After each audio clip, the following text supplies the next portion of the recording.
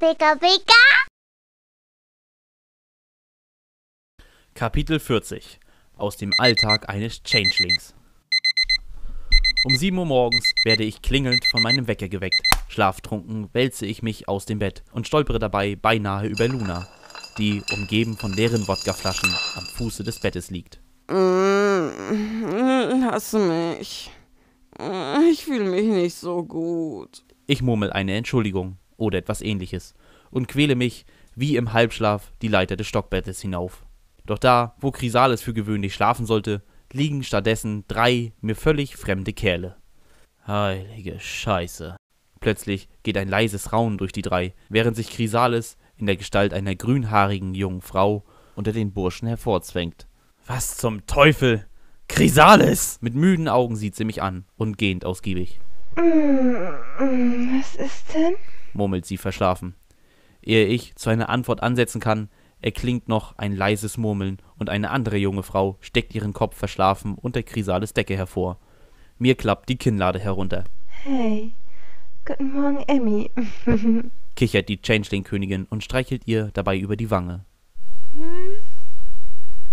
Wie spät ist es? Äh, Kurz nach sieben. Was? Oh Gott, ich muss los!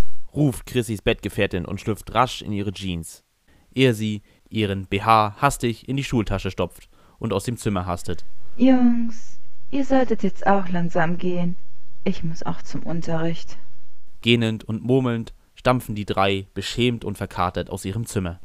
Und vielen Dank für den schönen Abend.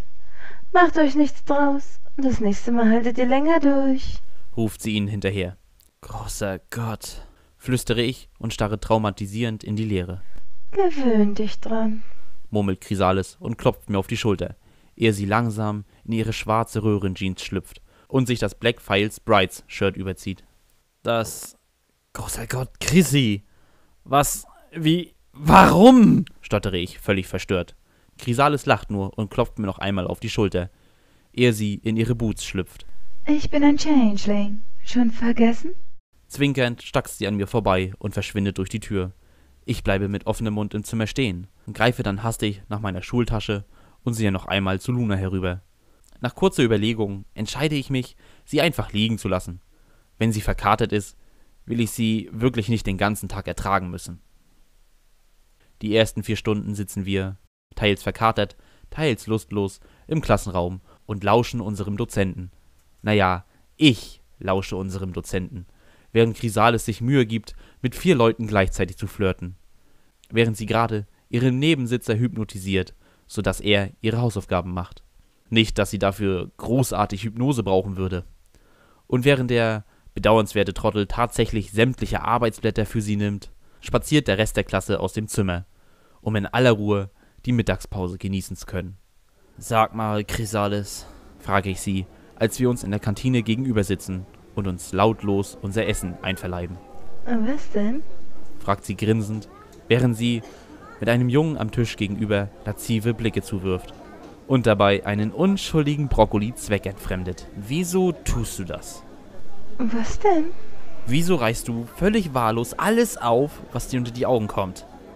Ganz einfach. murmelt sie und begnadigt das unschuldige Kohlgemüse kurzzeitig. Ich ernähre mich von Liebe. Und in dieser kalten, entseelten Gesellschaft ist Sex die einzige Art, Liebe zu zeigen. Es ist traurig, aber leider wahr. Gott, das ist ja furchtbar. Ist. Ist das dein Ernst? Teufel, nein! Ich mache es, weil ich es verdammt noch einmal kann. lacht Chrysalis und steht auf. Trottel. murmelt sie kichernd und verpasst mir eine Kopfnuss, ehe sie sich zum Kerl am Tisch gegenüber begibt und ihn, ohne ein weiteres Wort zu sagen, am Kragen in die Mädchentoilette zieht. Und während ich ihr kopfschüttelnd nachsehe, wird mir klar, dass ich das nur so verwerflich finde, weil ich neidisch bin. Oder weil sie mich noch nicht dran gelassen hat. Eins von beiden.